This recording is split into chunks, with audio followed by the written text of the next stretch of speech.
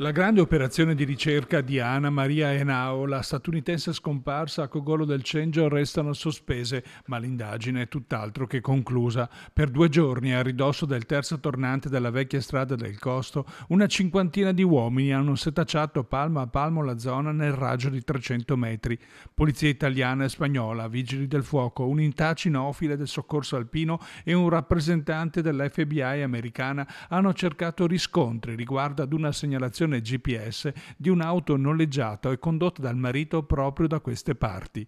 L'uomo di origini serbe, arrestato e in carcere in Florida, è accusato di sequestro di persona della donna da cui stava divorziando. In ballo c'era il patrimonio miliardario da spartire. La donna invece ha fatto perdere le proprie tracce a febbraio a Madrid, in Spagna.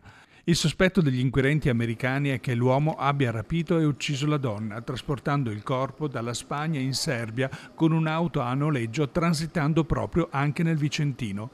L'uomo avrebbe potuto già disfarsi del cadavere da queste parti dopo averlo occultato in una valigia. Potrebbe essere nascosto tra gli anfratti della zona boschiva isolata. Al momento vige il massimo riservo delle autorità sullo sviluppo delle indagini di questo giallo internazionale.